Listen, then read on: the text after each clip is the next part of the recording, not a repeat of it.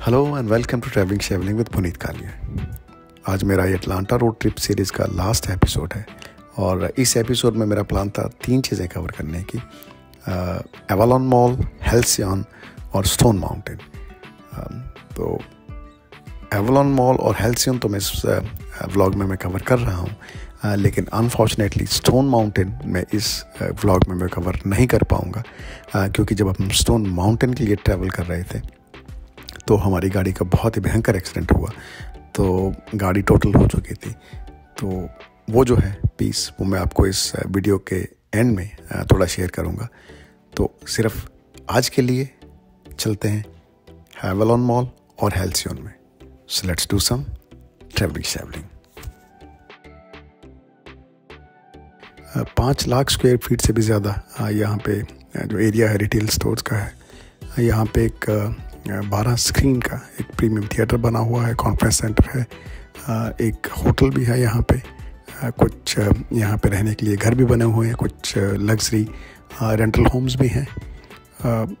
ये कुछ वॉकिंग वाला जो है माहौल है यहाँ पे बहुत ज़्यादा।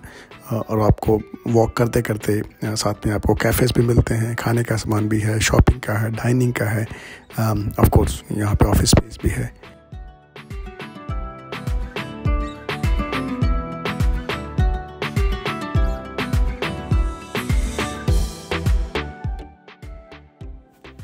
और ये वो एरिया है जो 12 स्क्रीन का जो है प्रीमियम मूवी थिएटर है रीगल सिनेमा जिसको यहाँ पे बोलते हैं। उसके सामने जो है वो बहुत ही बढ़िया एक लॉन बना हुआ है जहाँ पे ऑफ़ कोर्स आप बैठ सकते हैं एंजॉय कर सकते हैं। और ख़ास करके जो कि आज मौसम बहुत ही अच्छा है, धूप है तो यहाँ पे बैठने का बहुत ही मज़ा आ रहा है।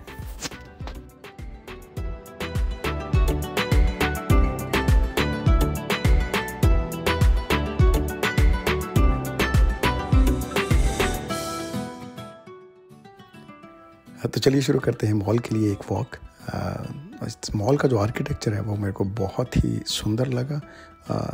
काफ़ी अलग है जो बाकी के मॉल्स के कंपैरिजन में।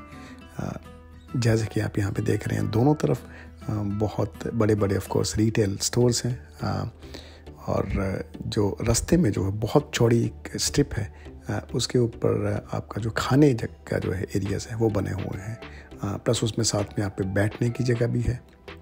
और कुछ बच्चों के खेलने के लिए जो है छोटे छोटे जो है प्ले भी बने हुए हैं।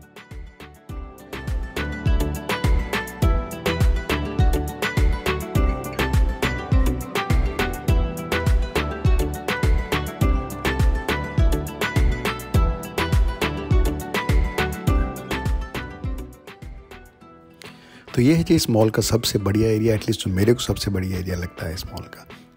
द रीज़न इज़ कि एक तो यहाँ, जैसे कि आप यहाँ पे देख रहे हैं कि इसका व्यू जो है मॉल का यहाँ से खड़े होके बहुत ही बढ़िया निकल के आ रहा है। प्लस ये दोनों तरफ़ जो है रेजिडेंसेस हैं लोगों के घर हैं यहाँ पे। हालाँकि बुरा लग रहा है क्योंकि लोग घरों के बीच में हम वॉक कर रहे हैं but I think that is the beauty of this mall और बिल्कुल ऐसे लग रहा है कि जैसे एक पैर कार्च दूजा पैर मॉल्च तो चलिए मैं आपको थोड़ा सा जो इन घरों के बीच में जो है एरिया उसका दिखाता हूँ और प्लस में थोड़ा सा आपको क्विक जो है वॉक घरों की तरफ़ चलते हैं।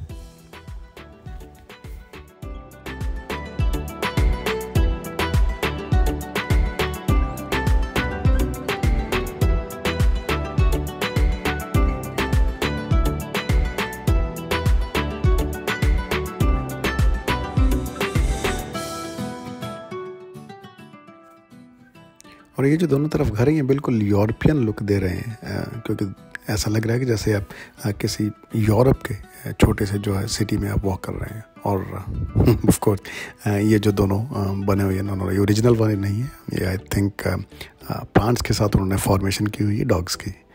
ऑफ़ कोर्स बहुत ही बढ़िया किया हुआ है। चलो जी वॉकशॉप हो गई खाना चाना भी हमने लिया है, खा, थोड़ा सा। और ऑफ़ uh, कोर्स थोड़ी सी शॉपिंग वॉपिंग भी कर ली है। Uh, तो इसके साथ ये जो मेन एरियाज़ हैं वो मैंने आपको एवलन uh, मॉल के वो सारे दिखा दिए हैं। तो अब हम चल रहे हैं वापस घर की तरफ़ और उसके बाद थोड़ी देर में हम निकलेंगे हेल्सियन के लिए।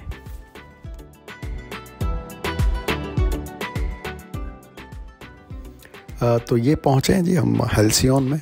तो हेल्सियन के बारे में थोड़ा आपको बताऊँ तो हमारे घर से पंद्रह मिनट की दूरी पे था जहाँ पे हम ठहरे हुए हैं। ये एक कम्युनिटी ओरिएंटेड जो है यहाँ पे शाम को बैठने वाली जगह है जहाँ पे ऑफ़ कोर्स आप फ्रेंड के साथ चैटिंग कर सकते हैं। बाइकिंग का है, कुछ वॉकिंग का है जॉगिंग का भी है। ऑफ़ कोर्स खाने पीने के भी यहाँ पे काफ़ी सारी जो है रेस्टोरेंट्स बने हुए हैं और एक मूवी थिएटर भी है।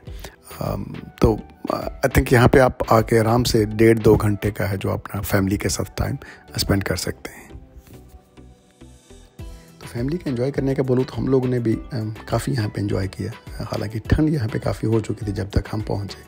और तो बहुत ज़्यादा हमने वॉक वगैरह नहीं करी। बट यहाँ पे लेफ़्ट साइड पे एक सेंट्रल एरिया बना हुआ है। वहाँ पे कुछ खेलने का सामान है, वो एंजॉय किया। और सबसे बढ़िया जो चीज़ यहाँ पे जो मेरे को हेल्सियन में लगी तो ये थी बीन बैग थ्रो की। तो मैं, चलिए आपको दिखाता हूँ कुछ अपने जो है बीन बैग थ्रो करने के स्किल्स कुछ एक ऑफ़ कोर्स बीन बैग्स अंदर गए, जैसे ये पहले वाला जा चुका था। बट बाकी के शायद नहीं गए। तो यहाँ पे आई थिंक मैं ज़्यादा टेढ़ा हो रहा हूँ बीन बैग के बजाय। तो फाइनली आई गॉट इट तो ये है जो वो मैं आप लोगों के साथ शेयर करना चाह रहा था और इस व्लॉग के शुरू में भी मैंने आपको बताया था कि जब हम स्टोन माउंटेन की तरफ़ निकले तो हमारी गाड़ी का एक बहुत भयंकर एक्सीडेंट हो गया। और लकीली हम लोगों को बहुत ज़्यादा चोटें नहीं आई लेकिन गाड़ी जो थी, वो बिल्कुल ड्राइवेबल कंडीशन में नहीं थी। तो उसको वहीं पे छोड़ना पड़ा और हमें अपनी जो स्टोन माउंटेन की जर्नी है, वहीं पे रोकनी पड़ी। और ना सिर्फ़ स्टोन माउंटेन की जर्नी जो हमारा अटलांटा का जो ट्रिप था, वो भी वहीं पे ख़त्म हो रहा था। और बहुत भारी मन से हम लोग गाड़ी वहीं पे ड्रॉप करके घर पे वापस आ गए। और ऐसा लग रहा था कि जैसे इस सीरीज़ का और इस ट्रिप का जो एंडिंग है, वो शायद ऐसे ही होनी थी। Not that I wanted to do this way but वो बोलते हैं ना कि the show must go on तो आई एम श्योर ये जो सीरीज़ है, मैं यहीं पे फिनिश कर रहा हूँ। लेकिन आप लोगों के साथ मैं और जो है कुछ नए नए व्लॉग्स लेके दोबारा से आऊँगा। और अगर आपको ये सीरीज़ ये आपको ये वाला व्लॉग अच्छा लगा तो प्लीज़ सब्सक्राइब कीजिए लाइक कीजिए कमेंट कीजिए और मेरे को बताइए कि आपको क्या अच्छा लगा इसमें और क्या अच्छा नहीं लगा तो until you can see me next time keep doing some travelling shevling and Raka. Thanks for watching.